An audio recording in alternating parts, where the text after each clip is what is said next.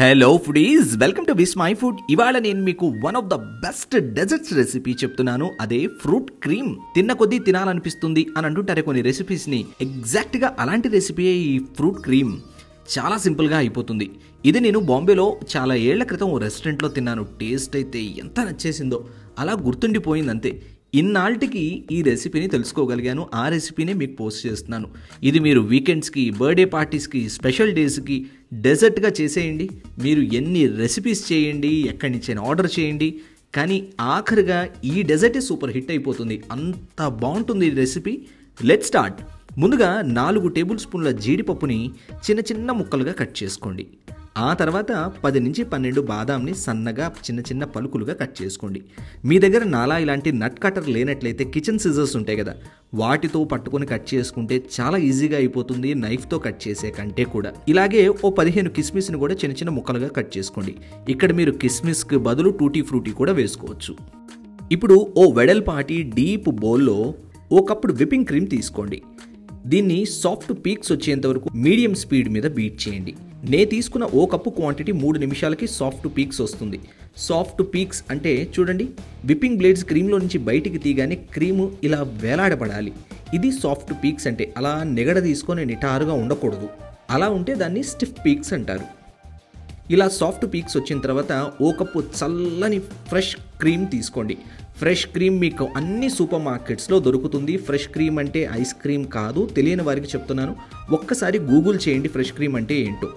ఇంకా ఇందులో అరకప్పు కండెన్స్డ్ మిల్క్ వేసి ముప్పై సెకండ్ల పాటు విప్ చేసేయండి క్రీమ్తో పాటు కలిపి. పర్ఫెక్ట్గా బ్లెండ్ అయిపోతుంది. ఆఖరిగా ఓ టీ స్పూన్ వనీలా ఎసెన్స్ వేసి ఇంకోసారి బీట్ చేయండి. జస్ట్ కలిసేంత వరకు చాలు. కండెన్స్డ్ మిల్క్ బదులు షుగర్ పౌడర్ వాడుకోవచ్చా? అని కొందరికి డౌట్ రావచ్చు. బట్ షుగర్ చల్లని ఇంకా ఇంత ఫుల్ ఫ్యాట్తో ఉండేటువంటి క్రీమ్లో మెల్ట్ అవ్వదు త్వరగా. సో కండెన్స్డ్ మిల్క్ వాడుకోవడానికి ప్రయత్నం చేయండి. కండెన్స్డ్ మిల్క్ చాలా రిచ్ ఫ్లేవరు టేస్ట్ని ఇస్తుంది. చాలా బాగుంటుంది. ఎండ్ రిజల్ట్ జబర్దస్త్గా ఉంటుంది అని గుర్తుంచుకోండి కండెన్స్డ్ మిల్క్ వాడితే.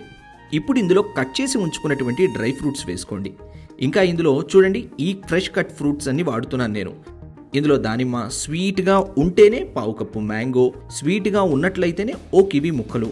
ఇంకా అరకప్పు యాపిల్ ముక్కలు ఓ బనానా అరకప్పు పేర్ ముక్కలు పావు కప్పు సపోటా ముక్కలు వేసి క్రీమ్లో నెమ్మదిగా కట్ అండ్ ఫోల్డ్ మెథడ్లో కలపండి. ఊరికలా విస్క్ చేసేయకండి. మీరు యాజ్ డిస్గా ఇవే వాడుకోవాలని లేదు సీజనల్ ఫ్రూట్స్ ఏవైనా వాడుకోవచ్చు. కానీ సిట్రస్ ఫ్రూట్స్ అదే నిమ్మ జాతికి చెందిన ఫ్రూట్స్ ఎంత మాత్రం వాడకండి టేస్ట్ అంతా పాడైపోతుంది.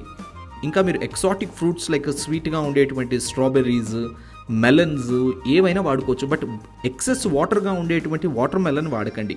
మీరు సీతాఫల సీజన్ వచ్చిందనుకోండి మీరు as it is process follow అయిపోండి. ఓ పెద్ద కప్పుడు సీతాఫలం పండు గుజ్జు వేసేసుకోండి. బ్యూటిఫుల్గా సీతాఫల క్రీమ్ తయారవుతుంది. కట్ అండ్ ఫోల్డ్ మెథడ్లో కలుపుకున్నటువంటి ఈ క్రీమ్ని కనీసం గంట సేపు అయినా మూత పెట్టి ఫ్రిడ్జ్లో ఉంచండి. ఫ్రీజర్లో కాదు ఫ్రిడ్జ్లో గంట తర్వాత లేదా సర్వ్ చేసే ముందు బౌల్లోకి తీసుకోండి. అప్పుడు పైన ఇంకొన్ని నట్స్ ఫ్రెష్ కట్ ఫ్రూట్స్ వేసి గార్నిష్ చేసి సర్వ్ చేయండి. అంతేనండి చాలా ఈజీగా అయిపోతుంది. నే చేసిన ఈ డెజర్ట్ కనీసం పది మందికి పైగా సరిపోతుంది. మీ స్పెషల్ డేస్ని మరింత స్పెషల్గా మార్చేస్తుంది ఈ డెజర్ట్ అంత యాక్యురేట్గా అంత పర్ఫెక్ట్గా వస్తుంది. As this steps steps follow అవ్వండి ఏంటి? నచ్చిందా? ట్రై చేస్తారా? అయితే డీటెయిల్డ్గా రెసిపీని చదువుకుంటూ చేయడానికి Vismai food dot com website visit చేయండి. అలాగే మీరు తయారు చేసిన ఆ రెసిపీ పిక్ని నాతో విస్మై ఫుడ్ ఇన్స్టాగ్రామ్ని ఫాలో అవుతూ ట్యాగ్ చేయాలని గుర్తుంచుకుంటారు కదా?